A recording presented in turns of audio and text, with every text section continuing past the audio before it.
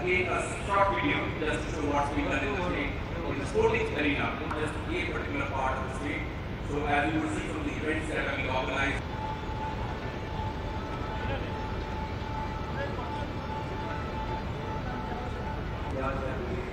are the sectors and the aspects of people's lives, the magnitude of our operations here. First, on our manufacturing side, weighs 100,000 tons per annum, chlor-alkali plant in Punjab, SLP is the